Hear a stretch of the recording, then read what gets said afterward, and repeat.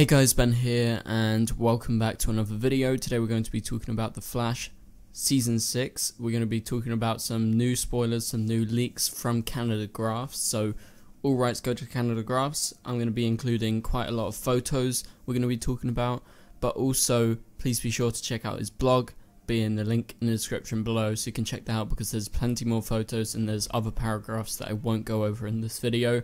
But I'm a few days behind on all this news behind on the Superman news, behind on some of the Supergirl leaks. So that's all going to be coming up in the next day or so. Maybe, you know, a double upload, maybe tomorrow or maybe today. I don't know. I haven't decided about that.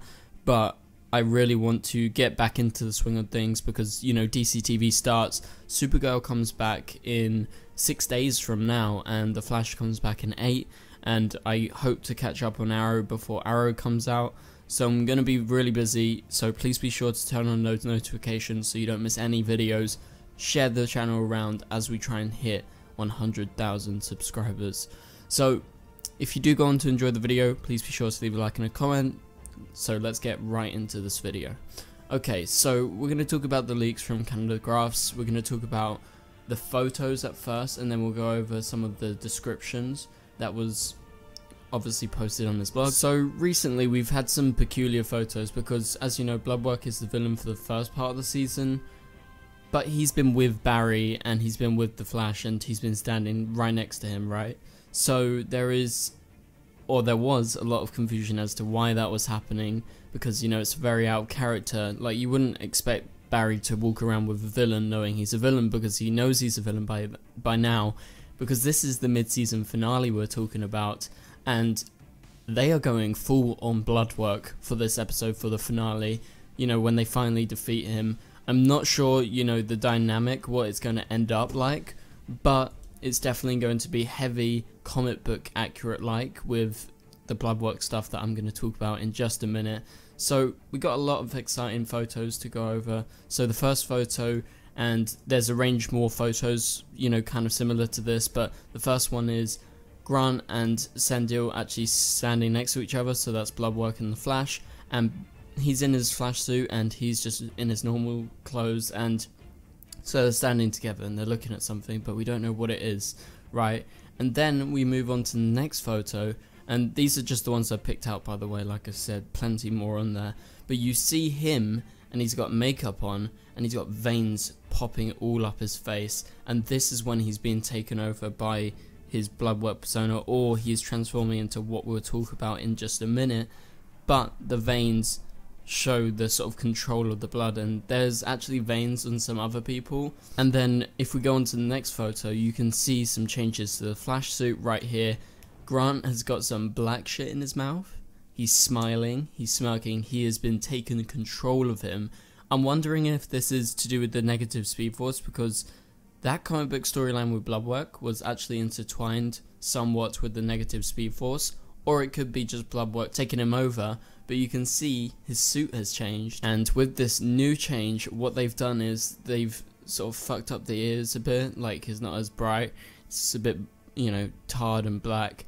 And obviously, like I said, he's got the smile, he's got the weird black stuff in his mouth, and on his chest piece, it's all blacked out. There's like sort of you know messy bits that you know hide away the white.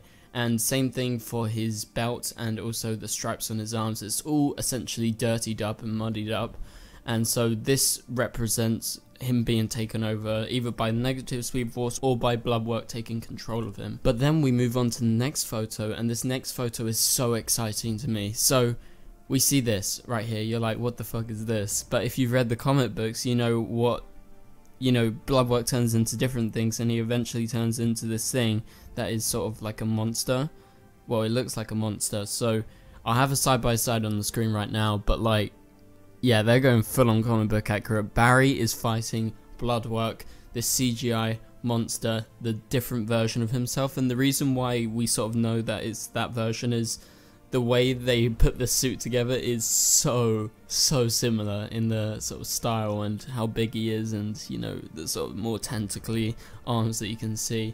But yeah so a massive CGI suit. Barry's going to be fighting this version of Bloodwork and this is either shot on the same night or the night after so it's part of the same scene as when we talked about um, Barry and Bloodwork actually being in the same place together, and Bloodwork's taken over, and I think he turns into this, and he sort of, you know, mutates into this sort of weird fucking creature from the comics, and I think it's absolutely brilliant that they are going full on comic book accurate for this because that is the version that I wanted to see because that's the version that I think so cool like it is absolutely amazing the way it looks and I think it's going to look really good. Hopefully the CGI holds up for this bit.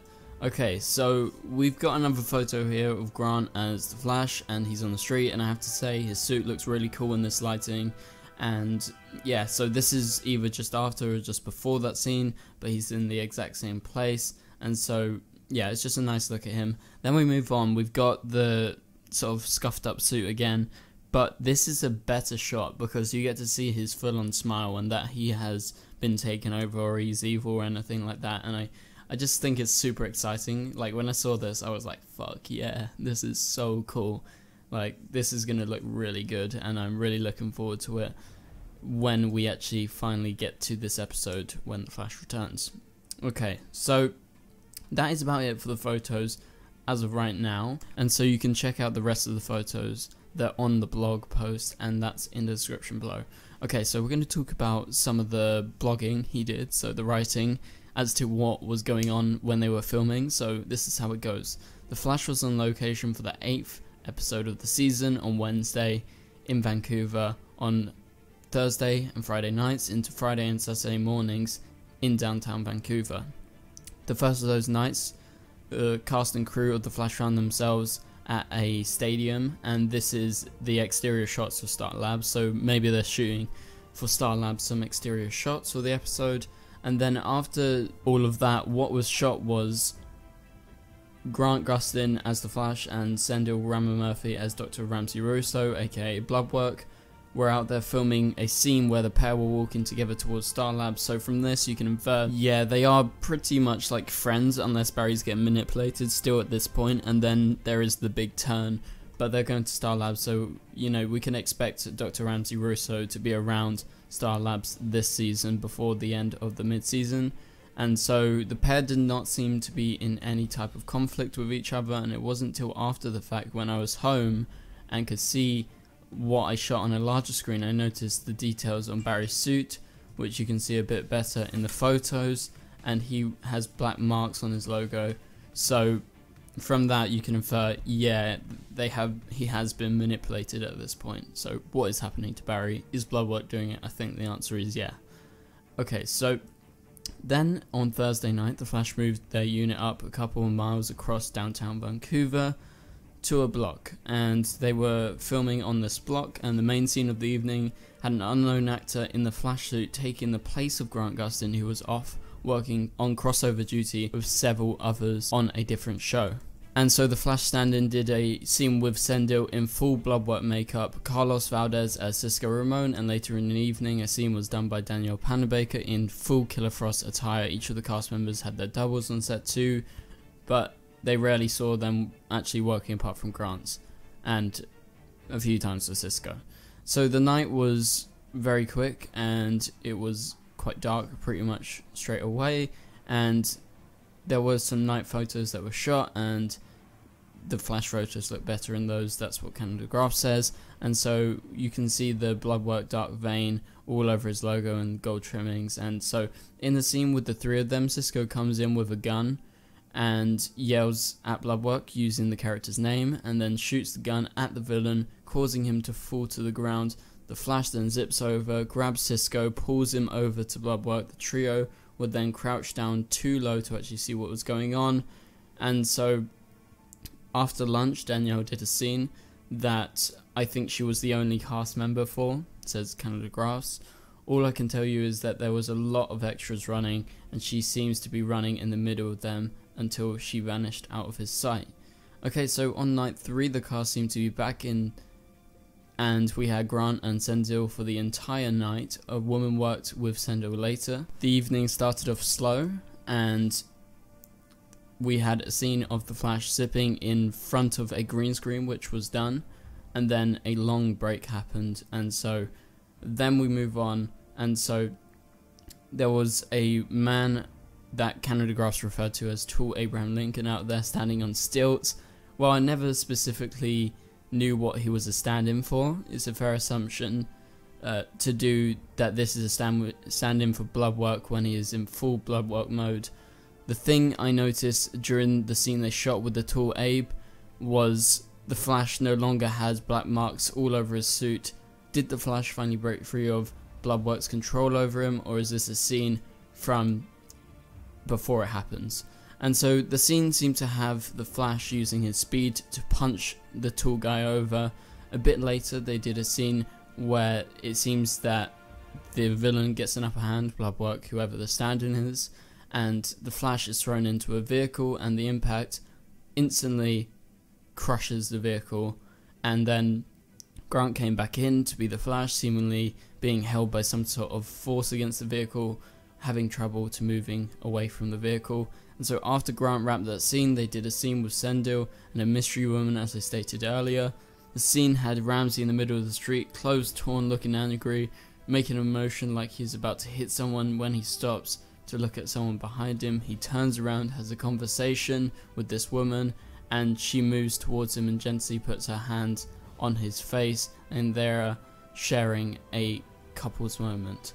So in the scene there are no dark veins on Ramsey and it seems he's calmed down. Is this woman how the Flash and Team Flash end up defeating Bloodwork?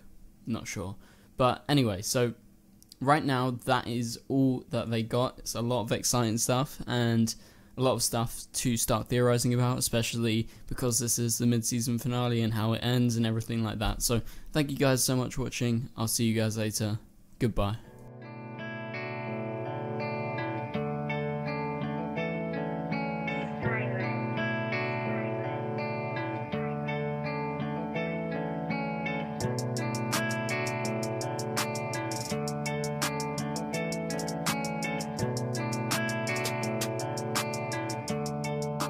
I see red.